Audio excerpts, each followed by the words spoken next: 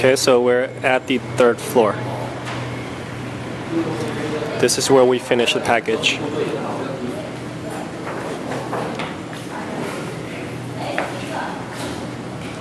So it was like this, two separate pieces printed separately, and this is where we joined them. These are manufacturer grade glue.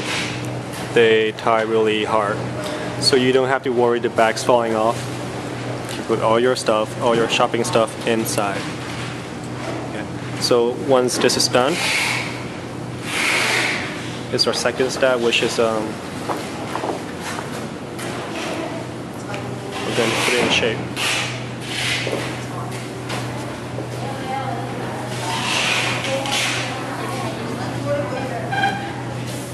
So right now it's more like a bag, but it's still empty. And then of course that's the final step, which is right here.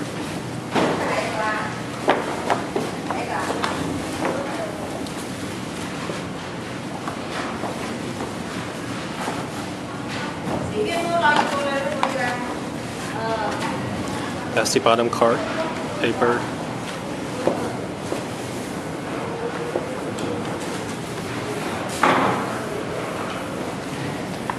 And once that is done, it turns into the paper bag. And this is the end result.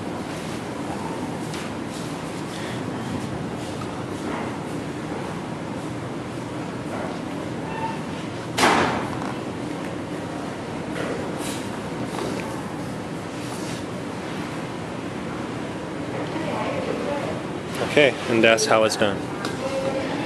You have a perfect shopping bag. Here, let me. Uh,